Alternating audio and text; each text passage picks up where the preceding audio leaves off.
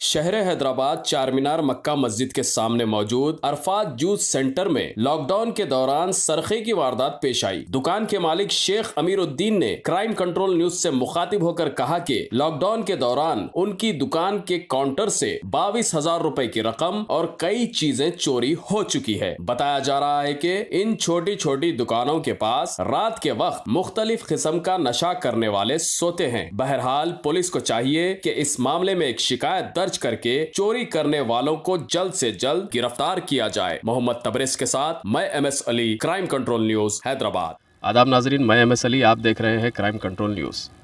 नाजरीन पुराना शहर मक्का मस्जिद के दरवाजे के सामने बिल्कुल शेख अमीर उद्दीन की दुकान जूस की दुकान है जहाँ पर चोरी हुई उनका कहना है।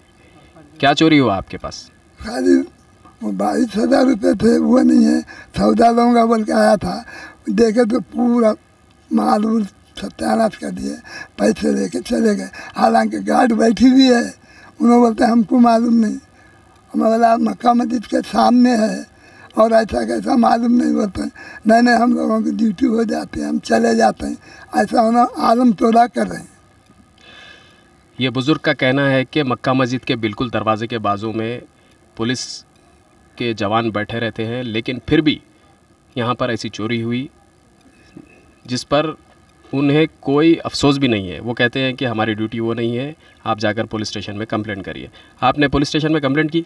बात करें पुलिस स्टेशन को तो कौन की है? वो तेलुगु बात करिए समझ में नहीं आ रहा बोलिए शायद आप हंड्रेड डायल करके बात करे होंगे। आप पुलिस स्टेशन जाइए और पुलिस स्टेशन में इसकी शिकायत दर्ज कराइए वो लोग ज़रूर एक्शन लेंगे। अच्छी बात है पुलिस स्टेशन जाता हूँ अब जाके दर्ज करा के आता हूँ। इतने लॉकडाउन के दौरान भी शहर में चोरियाँ हो रही हैं। लिहाजा पुलिस को चाहिए कि थोड़ा सख्ती करें और गरीबों की रोज़ी रोटी का ख्याल रखें, क्योंकि उनका यही है। देखिए, आप इतने फ्रूट की दुकानें हैं गरीब गरीब लोग हैं। ये साहब की बंडी में से भी, ये ठेला गाड़ी में से भी कुछ चोरी हुआ है। कौन सी बंडी है आपकी? कौन सी ठेला गाड़ी है? ऐसे सर्विस का है मोबाइल का। पूरा पीछे से फाड़ दिए। फाड़ के उसमें दो हज़ार रुपये थे, ले लिए, चिल्लर सामान पूरा नीचे फेंक दिए। कई सामान आप फेंक दिया पूरा प्लास्टिक फाड़ दिया अभी पूरा पैक करके बंद करके रखे एक घंटे से यहीं है हमला जब से। बस। यहाँ पर कोई बता रहे थे चचा के नशा करने वाले आके वाइटनर का नशा वगैरह करने वाले आके सोते हैं। यहाँ पर ही सोते पूरे पुलिस वाले यहाँ पर ही है अगर उससे कुछ भी नहीं है फ़ायदा। कुछ नहीं बोल रहे। हमारी टाइमिंग ये है ये टाइमिंग से ही हमला चले आते बोल के बोले बस हमला खामोश आ गए कॉल करे तो हंड्रेड डायल करे कॉल नहीं लगा रहा बस। जाके कंप्लेन करने गया